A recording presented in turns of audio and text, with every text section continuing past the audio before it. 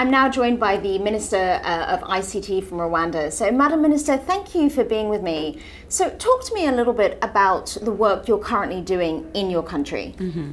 Thank you. Um, we are very focused on leveraging uh, technology in really driving the different sectors of the economy.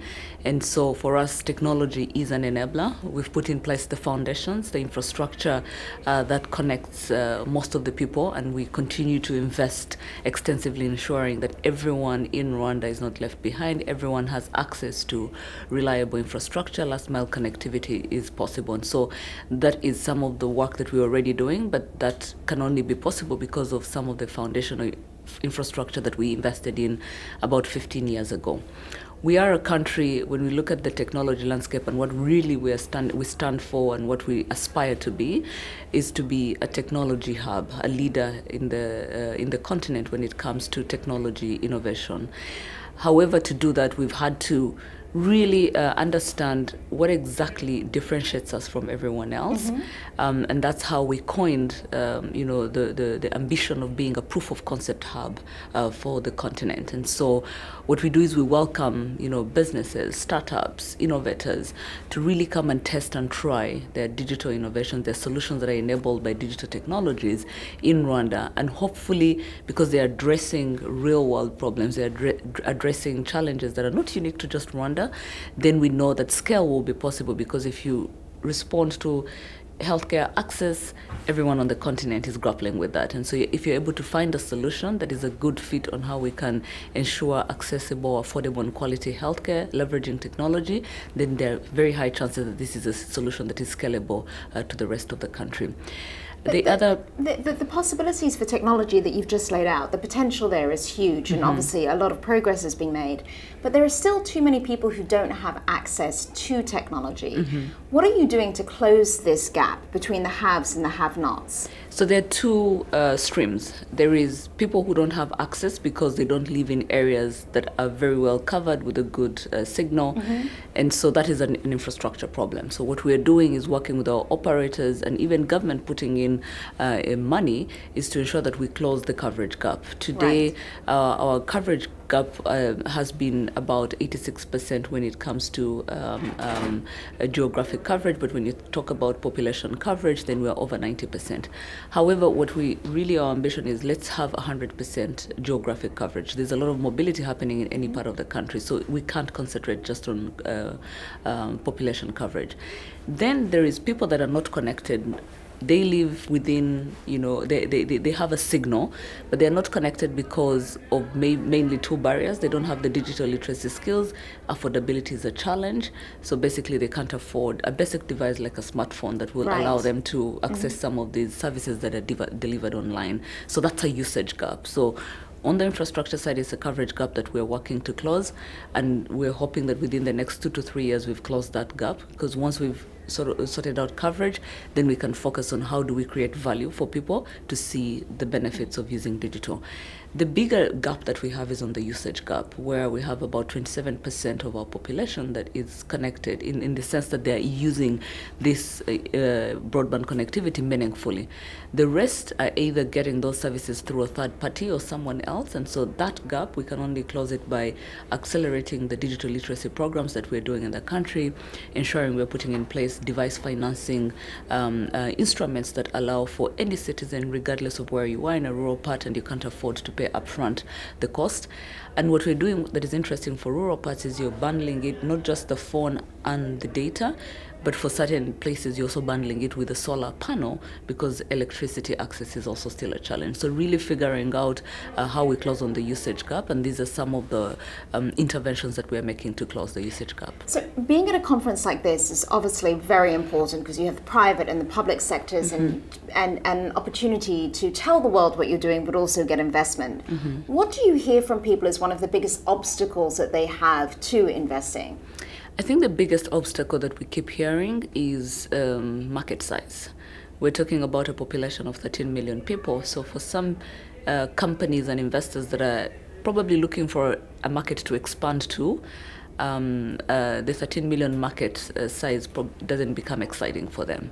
What we do then is where we actually, when we started to come up with the proof of concept strategy, it was basically because we're getting that kind of feedback. And we said, look here, even if you already have solutions, you're a company or an investor, you've invested elsewhere, the reality when you're coming into emerging economies and, de- and developing countries is that you're going to need a place where you can prove the success of the products mm-hmm. and services that you want to provide. So we've told them we understand there is the challenge of having a 13 million market, but there's also the other side that we need to look at, which is you get the opportunity to showcase how you're creating impact with a smaller market size. That's what you always need to do to create, you know, uh, interest from the other countries on the on the continent. But two, we also have the benefit that because we are part of bigger regional blocks and the Continental Free Trade Area, you know, agreement and framework that we have in place, it's now a bigger market of 1.4 billion people. So think about it as I'm starting with 13 million people, but this is how I'm going to be supported to access the remaining, um, you know, 1.3 billion uh, that are there on the continent. Absolutely, because this is setting a precedent now for those other countries to follow. So, from your position, have you seen any concrete changes from this Africa Free Trade Agreement? Because it sounds great on paper, mm-hmm. but what about in practice? Yeah, there, I mean, we've, we've seen some very concrete ones, and of course, I, I think the agreement in itself provides a framework through which mm-hmm. we can unlock the market potential uh, that the continent, uh, you know, offers. Um, there are many things that we need to do as governments, as uh, you know, collectively. Uh, there are policies that need to be in place. So let's even take a step back and think about the digital space. When we talk about the Continental Free Trade uh, Agreement and we're talking about uh, trading across borders, what we're seeing is there a very huge potential for digital technologies to enable that trading across borders when you do that, you have to tackle things like cross-border data flows um, mm-hmm. because I'm buying something in one country that is found in another country. It has to be shipped and all of that. There's data that is flowing across the board, and so how do you ensure that you have uh, proper mechanisms in place to handle uh, the you know the flow of data across different borders? So for me, I think it gives us a perfect um, you know opportunity. I know there there is um, I think there's a need to see things much quicker. But I think what people are not realizing realizing is that all the heavy lifting that needs to be done to ensure that we have a perfectly seamless market that then allows for businesses mm-hmm. to happen. And, and I think we're really in the right direction. Uh, it, it, we're, right, we're in the right direction. We're already seeing that happening even within the different regions. Uh, but ultimately, uh, I think the future is very bright when it comes to the Continental Free Trade Area framework. And I have to ask you so, as a woman, a woman in leadership, how important are women leaders in, in, in really shaping and being the architects of the Africa that we want to see? So, as a starting point, we make up more than 50% of the African population. So, we need to be in places where decisions are made. Women need to be there because you want to ensure that their voice is heard when these decisions are being made.